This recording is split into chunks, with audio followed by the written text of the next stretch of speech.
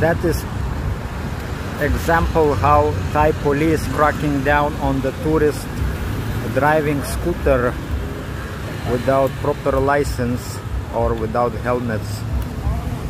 Day and night no escape. Fine I don't know how much fine. I see one policeman writing fine other fine. This dude problem yes.